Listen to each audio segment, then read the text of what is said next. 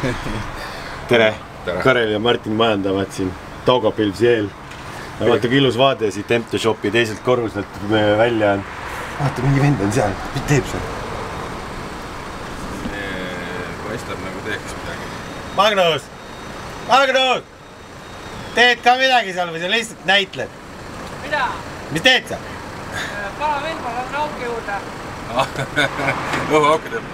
ära auke tee, lapi ikka kinni nüüd. Käivad ettevalmistused, Magnus on äh, katuseid mööda käimise lõpetanud. mis sa kolad mööda katuseid? sest saab. sest saab või? sihuke lugu on. Sal Sarr käis ka mööda katuseid. et käivad Taugapilsi jaoks ettevalmistused. äh, Magnus käis, äh, lappis bussikatust, sealt natuke tuli meil Riia vihmaga natuke vett tuppa kuskiltki. Täpselt ei tea, aga vist leidsid ülesse. vist leidsin jah, seal ühe siini hermetiseerimiskoht oli märgitud siin silikoni siis. midagi hullu ei olnud, aga ta pidurdades tuli ühelt poolt hakkas seal äh, bussijuhile kaela tilkuma nii ja nüüd äh, peale seda Saku Suurhalli veel siin, meil on ainult neli päeva aega siin autosid olnud äh, modida. peale seda väikest intsidenti Simon Suvemaaga lõhkus ta rehvi ära ja lõhkus ta tegelikult ühe sisemise rooli otsa ka veel ära. oli Vardas tegi lõtk jah, peale seda kontakti. jah, et Magnus vahetas nüüd rooli äh, selle Varda ära ja kuna ma olen siin mööda äärekivisid veel Riias kolistanud esi- ja tagasillaga, siis äh, lähme Forssi autodega sillapinki. üks on valmis äh,, teine ootab seal. teeme niimoodi, et mina lähen viin selle Forssi nüüd Magnusega siia Tähesajusse, tulen käruga tagasi, võtan Martini oma, niikaua kui Magnus minu omale teeb, siis äh, vahetame pärast ära ja siin on logistika kõik, Martini oma auto jääbki teist korda käru peale, ehk siis me ei pea mitu korda maha ajama, minu oma läheb kuuti, sellepärast see kardab natuke rohkem vihma kui Martini oma. ja sihuke logistika käib ja asjad vedelevad seal, et täna on sihuke pakkimispäev ja õhtul, neljapäeva õhtul peame siis äh, minema sinna. ilmselt tuleb sihuke kaheksatunnine trip. oo jaa, meeldiv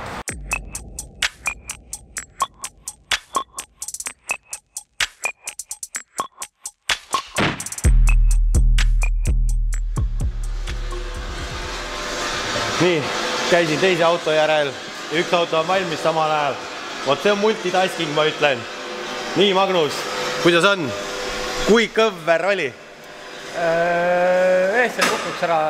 no aga sa vahetasid rooli otsa selle pärast või? ja, ja tagant siis võtsime natukene grammikese gripi vähemaks, et kuna vähem jõudu on.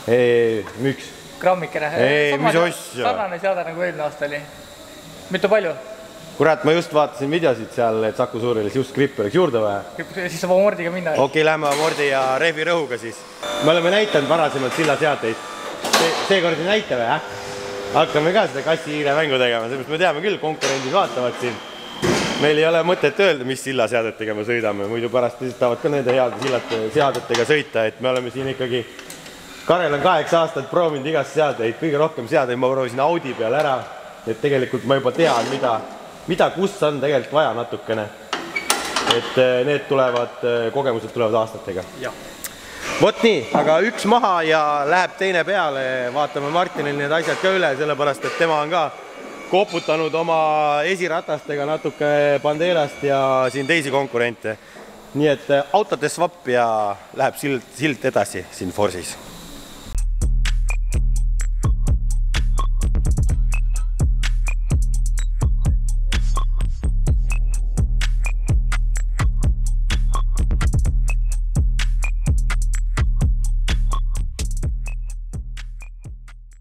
oleme sillast tagasi, kuidas Martini auto oli, kuidas teine patsient oli?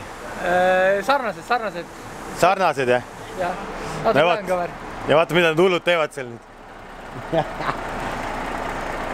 Nad lihtsalt tahtsid teada, kas bussi saab hoovis ümber keerata või?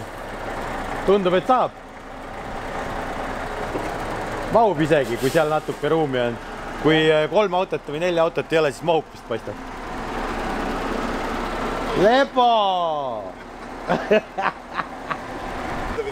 kaks korda pidi tegema ja kurat, need ju kaljudes sõidavad, nöördavad seal ümber kuradi niimoodi, et polegi ruumi täiesti.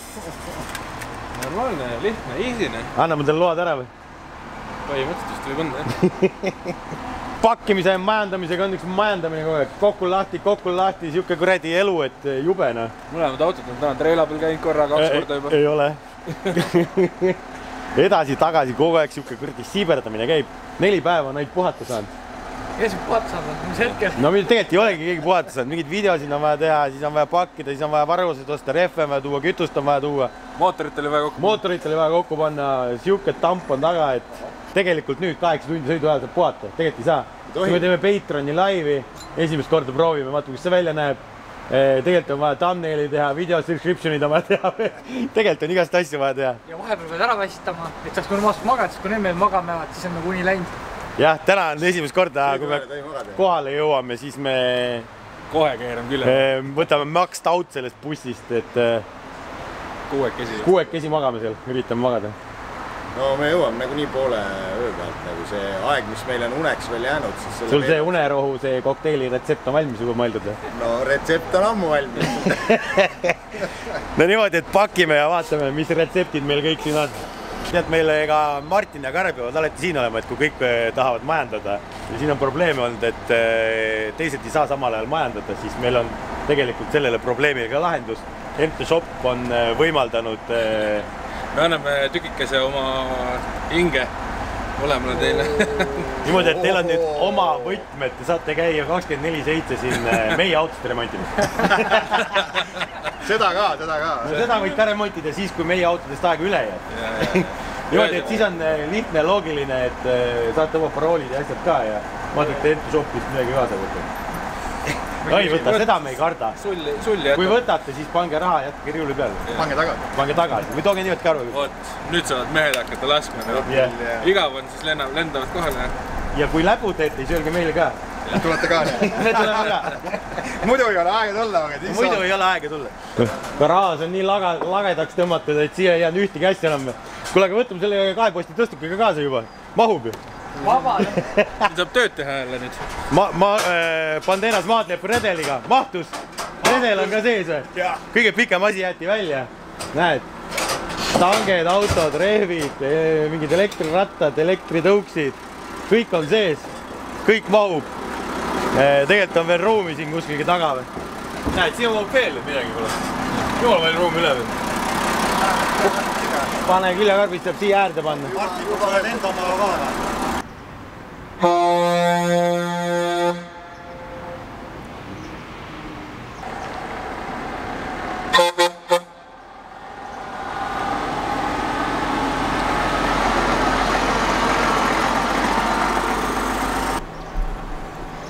bussijuht, bussijuht jättis maha minna. jättis või?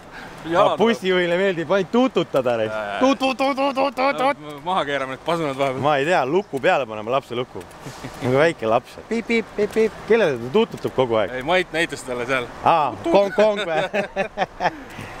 no eks kod kodust ära minnakse, tuleb ikka tuutu lasta ja võtame selle üksiku pojakese ka siit suurest parklast peale. panime ta päeval siia valmisse peale Forsi sillast endi, et äh, oleks hea bussiga taha haarata. siin on nii palju ruumi. bussil tegime mingit elektroonikat ja nüüd uks ei tule nupust lahti enam. tegite korda kõik asjad, nagu ma aru saan, jah? Eh, ma saan aru jah, Magnus eile viskas peod ja juhtus, neid pole vaja või? ja nüüd on korras jah? uks ei käi enam. ei tea, kas see on seotud. ei tea, kas on seotud, ilmselt on, võib-olla tal oli mingi muu äh, juhe lahti sealt selle käigus, ei tea.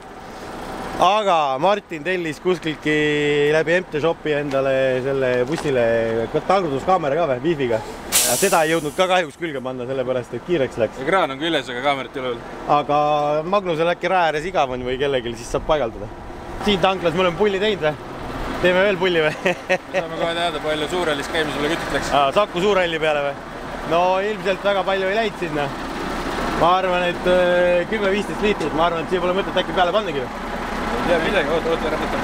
no aga mehed tahavad siin teha statistikat äh, terminali tanklas ikkagi, et äh, paneme jälle paagi täis ja vaatame, kas paagitäiega käib Taugapil siis ära või? kuule, kas paagitäiega käib ära või? ei käi või? mine sa hakkab pihta jälle. mis mõttes ei käi? nalja teed või? tuhat kilomeetrit. aga võib-olla ei saa ka siis. no mina ka ei tea mina arvan, et saab. Oled optimist. kui paak on mingi kuussada liitrit noh.. ei ole nii nelisada, ma arvan, ise. nelisada, kolmkümmend saja. hakkab pihta see arvutamine, matemaatikud on koos raisk. aga ma ei tea, kümme, kümme liitrit sirtsutad siia sisse, noh, rohkem ei lähe ju. selles mõttes, et Saku Suurhallis käimine oli odav, kakskümmend euri. kakskümmend euri. noh, kes ütles, et selle bussiga on kallis sõita?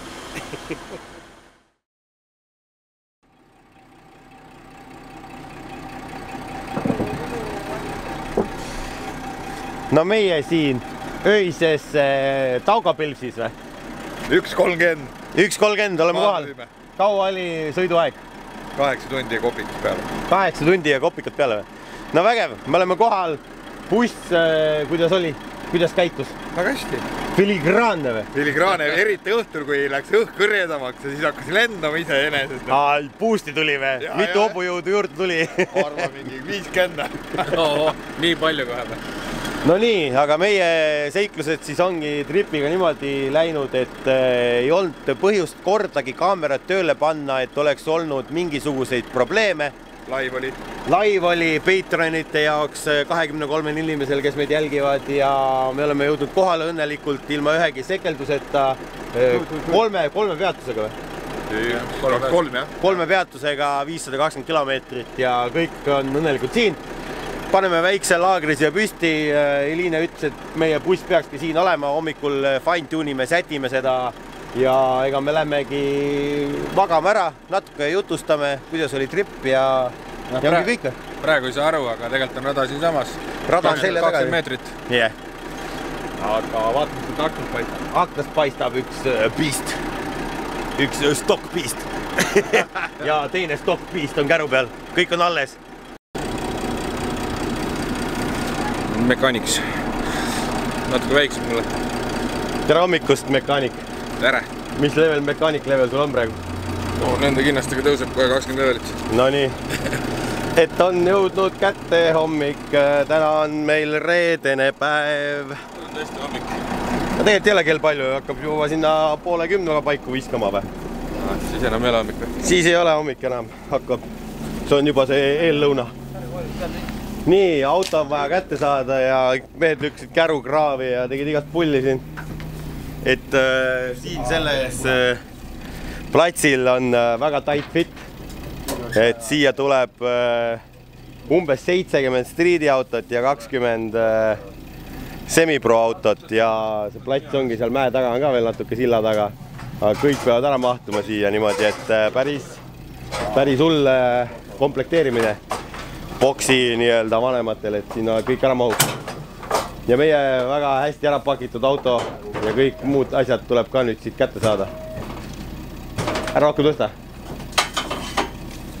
sina räägid kaameraga. ahah, okei okay,, selge, mul jälle sõnaõigust ei ole. aga seame oma kämplaagri püsti ja siis äh, kunagi peale lõunat saab Martin äh, alustada treeningutega. ja ma saan vist õhtul sõita ja siin äh, kolme päeva peale oli trenni aega kokku lausa vist kolm tundi. ilmselgelt me seda kõike ära ei kasuta, sellepärast nii palju rehve meil kaasas ei ole. kuusteist tükki peaks olema, aga isegi nendest ei jagu.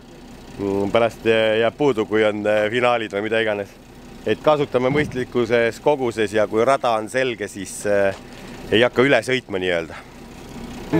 tere hommikust. Joonas, Joonas, Joonas. Madeiras ära lasku teiste põe- tiimide ees nii madalale.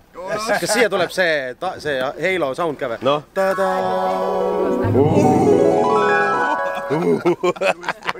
kõik filmivad nagu No, I ilma will imet. spoil the video now. I will publish now and tag you. Eline is here again. Ülejäänud She wants uh, more uh, Estonian followers, followers. Jani, 300. now it's your time. Yellow card Yellow card for what? for nothing. For nothing. all, all these jokey guys in Latvia, huh? Yeah. Okay. See you. I hope not get not the red one. Ma ei tea, vaata, mis ma sain metsas, kuskil karu. kurat, sina oled karu hoopis. Karu kõrgu. mis kell sa hommikul magama said? Kui ma ei eksi, oli pool seitse või pool mis kuus te. analüüsisite kella seitsmeni rada või? käisime raja peal, noh, kaks korda käisime läbi raja. ega see nii pikk ka ei ole, et see neli tundi aega võtab. kuidagi teine vend magab alles. üks mees magab veel jah? kas äh, võtmed on sellel mehel taskus või? ei, autoks lahti saab sõita, kui vaja. RS on meid ka jälitanud Lätti, imelik. oota, ma olen kohvi oma vaata, sa oled ka punase kaardi saanud, mulle öeldi, ma sain kollase ära hommikul juba, kui mingi jama on, siis antakse punane päeva peale ja cancel. vaata seda, seob ka punast kaarti. Nonii, aga majandame siis. ah, Karelil on isegi tšai. uskumatu teenindus, aga see purk on vale, rohelist värvi on vaja. ei, Magnus, sul on, sul on piimakohvi või? sul on piimakohvi üldse just. mul ka oma jaoks.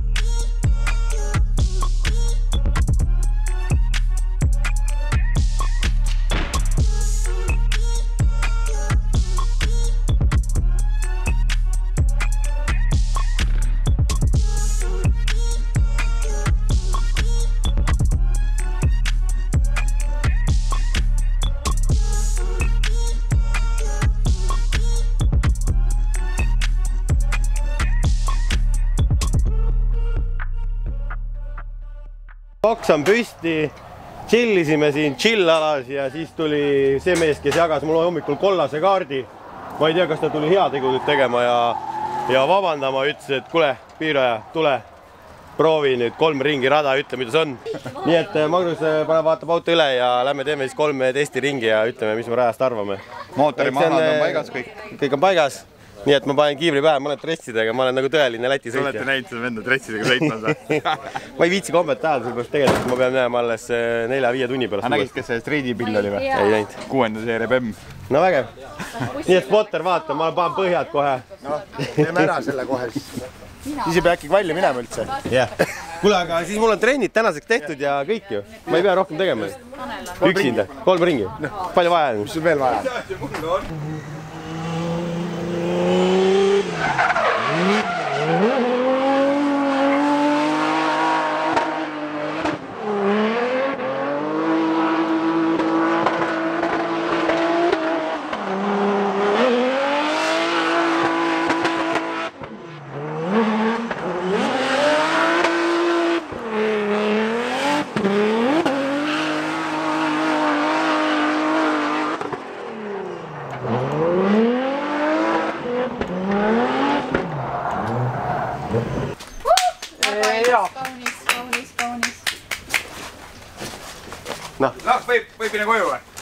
Trennid on tehtud, ma arvan, et äh, spotter, kuidas oli? kõik klipid olid käes. noh, okei okay oli jah. hakkab pihta jälle. aga kuule, tõmba tahapoole, tõmba tahapoole. tõmba tahapoole, see kuradi matt kärkab.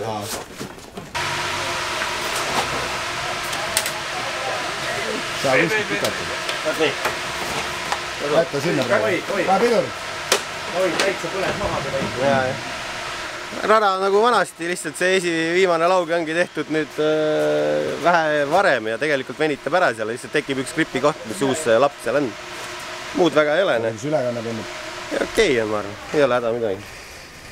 ta on küll paugu peal, piiri peal paugub, aga vaata tegelikult kui gripimaks teha, siis ei ole häda midagi, ma arvan. nii et äh, sobib. tihvrit vahetame ka. ei pea õnneks jah, võid õlle lahti. ta ei. Ja nüüd on Street'i omad peal, Street'i omasid on tervelt seitsekümmend tükki vist ja nad on jaotatud kolme gruppi, Martin on teises grupis ja kivavad seal. ja meil on äh, katusele tekkinud üks vares, kraaksub seal. mis sa teed seal, jumal? vipp koha peal või? kuule, ma tahan ka seda pulli näha, vaata, meil on kuradi mingi vares katusel. nägid või? jumala hea vaadata. noh, mis emotsioonidega peale lähed, sa oled Martin ju BMW-ga sõitnud siin. BMW-ga oli halb natuke, BMW oli siuke naljakas, aga ma arvan, et Nissaniga on elu hea. jah, eks me kohe saame varsti teada. ma olen, ma olen, vaatan ka sinna vipploosi ülesse.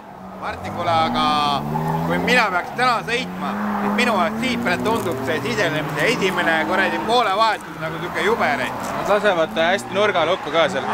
tundub, nad lasevad hästi palju lasevad lukku seal nurgal. ma lähen vaatan seda asja ülevalt. Kuidas üles saab, meil on redel. meil on bussijuht, mis teed seal? vaata, võtma hoida. Karel, operaator, ära tühja käega tule. ära tühja käega tule või? oot, oot, ma vaatan seda asja. ma tulen ühe käega, see on ohtlik. ma pole siin katusel ka ise käinud. ei ole või? ei ole muidugi, kus ma käinud olen? oota, korra, võta, võta vastu. antennid on ees, aga ma tulen. vaata, mis sealt luugist sulle antakse. noh, opa, sinine lillekas. ja, ja, ja juba võtsin, juba võtsin. kurat, me läheme siit läbi katuse. ei lähe. siin peab istuma. tõuse püsti, ole nüüd rahul. vaade väga tegelikult, et vaade. ma vaatan seda vaadet, ossa raisk päris hea on jah. tervet rada näeb siit ju. sihuke, sihuke vipploos on meil siin. kuule, aga kuidas sulle tundus? mina, kui natukene sõitnud mõne ringi, minu arust see sisenemise esimene sabapool, ütleme esimene vahetus, vaata see koht, see tundub nagu raja kõige hulle, hullem koht või? ei no see sisenemine on natuke triki hea, sa sisened pimedasse kurvi nii-öelda, sa ei näe klippe ega midagi. esimene poole vahetus nagu see on kõige järsem, üle Jaa. nagu sihuke seif, vaata. ja, ja ei ole hullu, rada on tegelikult äge. ikkagi ragiseb kõik, kui Ah. te siin jalutate. ragiseb või? jah, no aga siitpoolt ei, kannab, kannab. ei ma lähen vaatan. Spotter ei julge tulla, ta läheb raja äärde vaatama. natuke ragiseb see alus, aga no mis teha, no ei ole hullu, ma arvan. plekk on see, mis. plekk on, seal on ju teistmoodi ka kuule, me saame selle LED-baari ka paika keerata kohe. mis see vend seal teeb? sa istud seal õrre peal.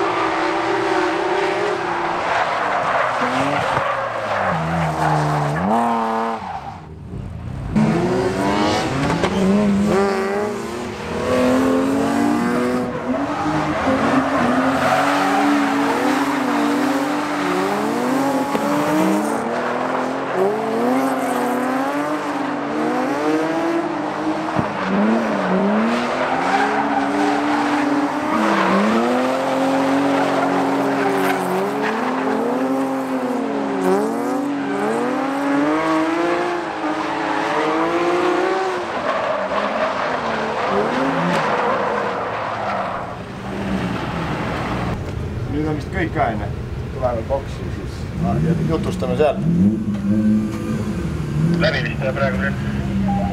räägi, kuidas Martin poisil läheb siis. tegelikult on okei okay., paar, paar klippi on, mis oleks vaja nagu lihvida või paar, ütleme, rajaosa, aga laias laastus on okei okay,, enam-vähem kastid käes. kiirusega on ka niimoodi, et mingid kohad on nagu ülikiire, samas aeglastes kurvides ei jõua nagu kuidagi järgi. Aga meil on veel trenni ja lähme teeme nüüd väikse analüüsi, näitame ette, kuidas paremini oleks seal eh, nii-öelda videokaamera peal ja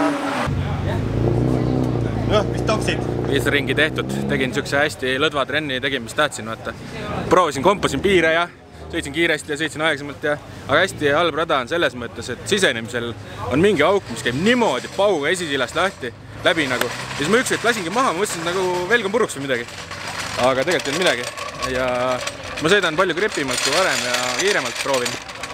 et, et aga noh, trenne on palju veel, nii et ma praegu väga kaliont ei lihvinud isegi mitte no hea küll, selles mõttes sõidad, sõidad, nii et häda ei ole. nüüd on vaja fine tune ida siis, yeah.. muidu on okei okay.. ma ei tea, kuidas teistel, aga noh, mul on nagu jõudu on piisavalt ja selles mõttes raha sõidab ilusti läbi kuskil. noh, see tagumisklip on nagu naljakas venitada. See seal on kiirus nii suur ja siis sa pead maha tulema gaasilt ja siis tulevad juba koonused ette. see on natuke triki ja, ja seal on enne seda on see speed nupp uus asfalt, uus asfalt on speed nupp. Nonii, aga nüüd läheb veel kolmas grupp peale, rataste vahetus ja siis põhimõtteliselt pooleteist tunni pärast uuesti. ühe sutsaka veel jah, siukse neljakümne viie mindise, viis ringi umbes. viis ringi jah, ja siis äh, saan mina ka umbes teha ja siis me arvutasime, et kuna rehvi kulu on nii suur, et ma testiringi kolm tükki tegin, et äh, Karel tohib sõita ainult neli kuni kuus ringi et siis ma pean rehve säästma hakkama ühe, ühe ilusaga valijoone ja siis teed jälitust. jah, või okei okay,, vaatame, äkki saab äh, laenata rehve, aga julm kulu on, tegelikult ei tahaks küll kakskümmend rehvi ära lasta nagu veits, veits äh, hingele hakkab haiget tegema see. no mina saan viis ringi. jah, päris julm vahe ikka. Anu, Anu, kas kõrvalsõitu saaks? ilus hea laps oled, siis ikka saad. Aga sul ei jää turva või vastust või? ei ole. kurat, ma oleks tahtnud sõita kaasa sinuga, vaadata, kuidas see kõrvalt välja näeb. jah? Martin, sul raadiosaatja on või? on, lülita sisse ka. testing, testing. nojah, siis ei paku Martin mulle kõrvalsõitu, isegi raha eest ei saa noh, sihuke vend noh. hea küll, ega ma talle ka ei tee.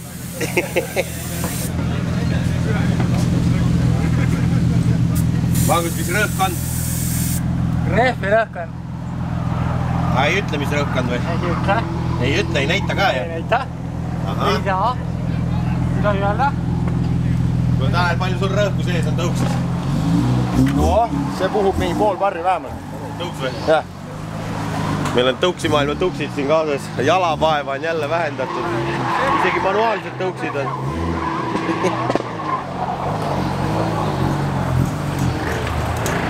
näita pöialt, noh. jess.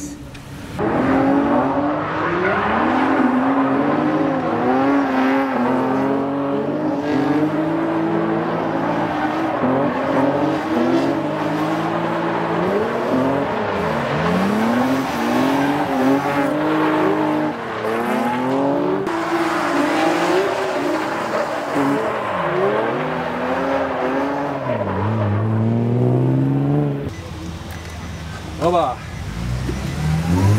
Vali asi on nagu käes, aga nagu jälitused on kehvad täna olnud kõik. ma loodan, et homme tuleb parem. sa ei saagi jälitada, kui sul rooli ei ole. raadiosaate kaotasin kuhugi istumaale ära, kuskilt kuulsin, et Tanel midagi sosistab. kükitasin igale poole, panin käsi kätte, ei saanud. kadunud jälle, lost. see on mingi istme all kuskil. ma jälitused keeran nagu metsa natuke, söödan kinni lukku ennast ja pidurdan kinni ennast ja aga miks sa teedki? ma ei tea noh, raske on. no ma, no ma järgi mõtlen, ma tegin valed otsused, ma läksin alguses liiga, liiga sappa, siis äh, sõitsin ennast kuhugi valesse mida sa trajektoori ründad, kas ust või tagaratast? no teoorias ma tean, et ma pean tagaratast ründama, onju. aga ilmselt, ilmselt läheb nagu vahe, vähe vale, valesti see.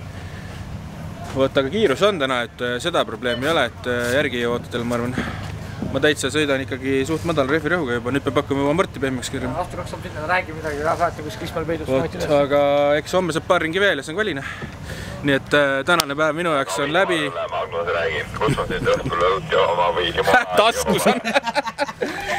mine no ma otsisin seda igalt poolt. sa oled üle küpsenud veits? saati üles. täiesti, ma kuulsin sosinat. kuidas ma kutsusin sind õhtust sööma? Äh, ja mis ma lõppkokkuvõttes ütlen, nüüd äh, tulevad äh, karelisõidud ja paneme siis, tema paneb oma kastanid tulle või? jep. oota, mis sa ütlesid, homme on veel trenni või? hommikul? paar ringi on veel paar ringi ja siis on kvalifikatsioon. täna ongi puhas trennipäev, et täna tegelikult ei ole isegi kohtunikke siin, ei ole öeldud, kus rada on ja kuidas kohtunikud tahavad näha, et kuidas sa sõidad, et see lihtsalt kõik sõidavad nii nagu on, kastid on maas, aga neid saab ka erinevat poodi rünnata. mis sa arvad, sõidan, kvali sõidan ikka ju? no kvali sõidad ära, aga selles mõttes, et äh, joon peab hea olema, konkurents on tihe, seitsekümmend sõitjat, noh, kujutad ette, kolmkümmend kahte pääseda on ikka, sa pead ja mõlemad palliringid peavad tegema head, nagu me oleme näinud, et hakkab lugema see, et kui sa sõid ühe seitsekümmend kaks ja teise nulli saad ja teisel mehel on kuradi viiskümmend all, siis sa kohe kuradi kaotad tänu sellele. et äh, tuleb äh, stabiilselt ikkagi teha, proovida. homme silud seda joont ma arvan jah, see juba lõpuks oli päris okei okay,, ma arvan, et ma sain selle initiation'i paremaks palju, kõik kastid jooksid kohe paremini. aga jah, jälitus on probleem, jälitust on vaja. nägid ka või, ma jooksin kaameraga jah. platsi. nägid või, et mina olen või? vaatasin, mingi suvaline töll jookseb järgi sain aru isegi millegipärast. ma olen siin nii palju elus läinud, et silmanurgast tunnen ka ära. ossa poiss, ära mind sõidu ajal vaata.